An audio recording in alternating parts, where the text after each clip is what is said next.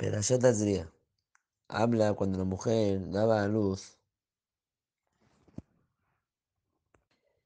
un varón, también de los tiempos de impureza, del Brit. También habla sobre Jinuj, que la persona tiene que estar de forma constante sobre el Jinuj. Cuentan que un padre que tenía un hijo en la yeshiva y se iba temprano y volvía tarde y confiaba al padre que estaba en la yeshiva el niño. Un día el padre va a la yeshiva a visitarlo y cuando llega pregunta a los amigos dónde está su hijo y se llevó la sorpresa que le respondieron los bajurim que desde hace seis meses el hijo no estaba en la yeshiva y el padre no sabía qué hacer y aparte se sentía muy avergonzado. Fue a consultar a Rav Silverstein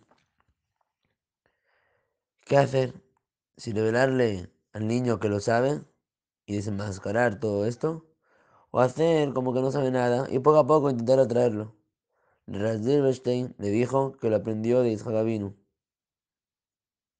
Que, que la segunda opción de cómo un poco atraerlo.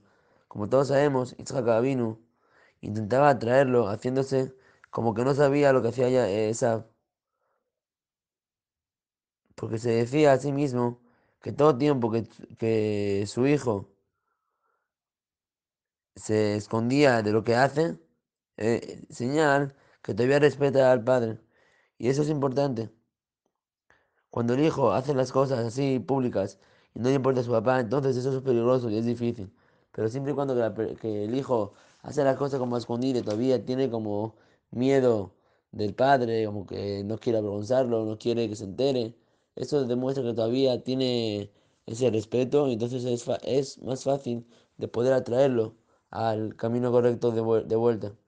Yitzhak pensaba que al darle las verajotas de Sab podría traerlo al camino correcto. Sin embargo, vemos que Hashem y también Rivka tenía otra idea. Pero Yitzhak nos enseña que al hijo no se le, no se le rechaza, hay que atraerlo.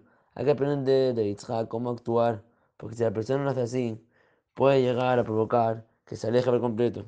Entonces, que Hashem, que, que siempre todas las personas pueden tener, puedan tener suerte en, con sus hijos de Hashem, que siempre vayan por el, por el camino correcto y cumpliendo la Torah, la mitzvot, Masen Tobim, y siempre haciendo la voluntad de Hashem.